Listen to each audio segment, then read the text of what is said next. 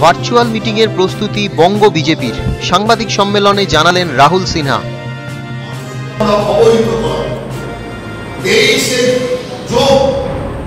আমাদের পার্টির প্রতিষ্ঠাতা ডক্টর প্রসাদ মুখার্জির বলিদান দিবস অর্থাৎ মৃত্যুদিন, ওই দিন আমরা প্রত্যেকটা বুথে শ্যামা প্রসাদ মুখার্জির বলিদান দিবস পালনের সাথে সাথে আমরা বাড়ি বাড়ি যাওয়ার সিদ্ধান্ত গ্রহণ করেছি।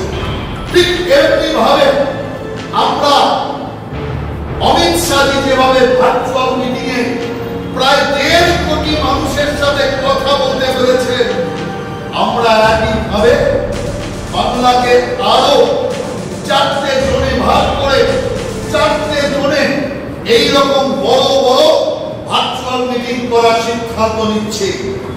যাদের মিটিং এ স্মৃতি ইরানি, রাজনাথ সিং এইরকম কেন্দ্রীয় নেতারা অংশগ্রহণ করবে। এছাড়াও প্রত্যেকটি জেলায় আমরা আলাদা ভার্চুয়াল মিটিং করব, যাতে প্রতিটি কর্মী এবং সাধারণ মানুষের কাছে বিজেপির কথা, বিজেপির বক্তব্য পৌঁছে যায়। এই ভার্চুয়াল মিটিং এর পরবর্তী পর্যায়ে হবে বিধানসভা এবং শেষ পর্যন্ত পর্যন্ত এই ভার্চুয়াল মিটিং অর্থাৎ টেকনোলজিকে কাজে লাগিয়ে আমরা সাধারণ মানুষ পর্যন্ত যাওয়ার সিদ্ধান্ত নিয়েছে। ইতিমধ্যেই অমিত শাহজির ভার্চুয়াল মিটিং এর পর তৃণমূল বলতে শুরু করেছে ভার্চুয়াল মিটিং করেছে, টাকা খরচা করছে। এদের জানা নেই একটা যা খরচা ভার্চুয়াল তার দশ খরচা হয় না, দশ না। আর আমরা জানি, আমরা যা করব তৃণমূল তা পেছন পেছন করতে শুরু আমরা আমাদের পার্টির মিটিং ভিডিও কনফারেন্সের মাধ্যমে করতে শুরু করেছিলাম। তৃণমূল প্রথমে সমালোচনা করেছিল, এখন তৃণমূল ভিডিও কনফারেন্স শুরু করে দিয়েছে মমতা ব্যানার্জিও ভিডিও কনফারেন্স করছে আজকে ভার্চুয়াল মিটিং দিয়ে বলছে কালকে দেখবে তৃণমূল কংগ্রেস ভার্চুয়াল মিটিং শুরু করে দিয়েছে।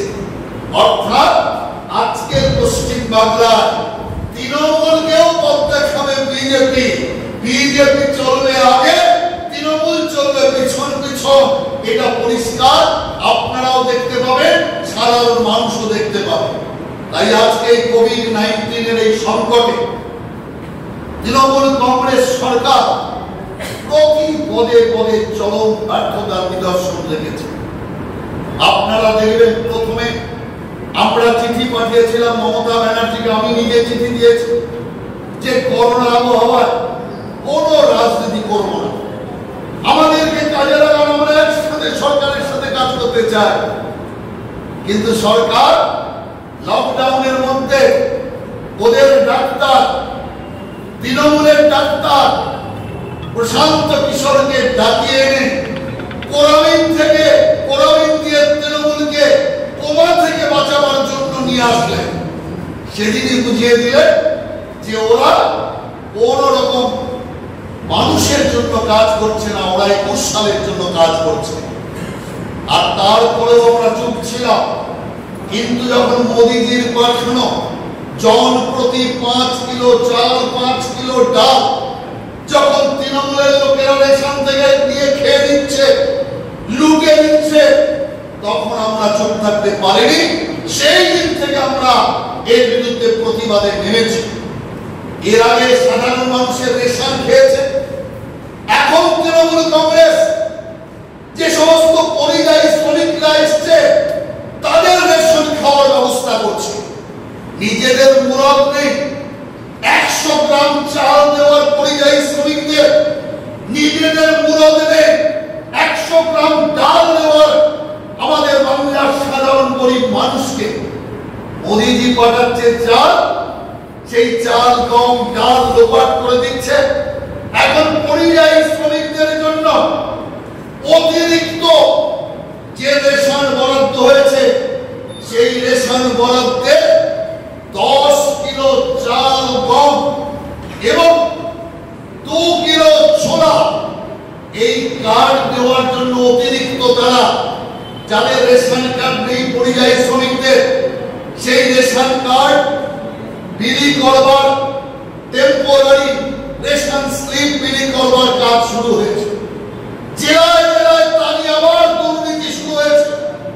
যারা পরিযায়ী শ্রমিক, তারা পাচ্ছে না।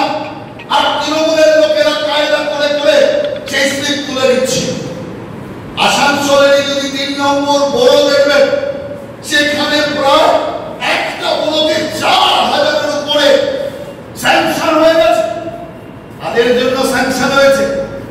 বিশেষ ধর্মাবলম্বী লোকেদের জন্য। বেছে ওদের পছন্দ মতো ধর্ম যারা করে তাদেরকে দেওয়া হচ্ছে। বেছে দুর্নীতি হচ্ছে। সাধারণ মানুষের রেশন চুরি করে তৃণমূল খেয়ে দিয়েছে যার জন্য সারা বাংলায় তৃণমূলের নাম এখন চাল চোর তৃণমূল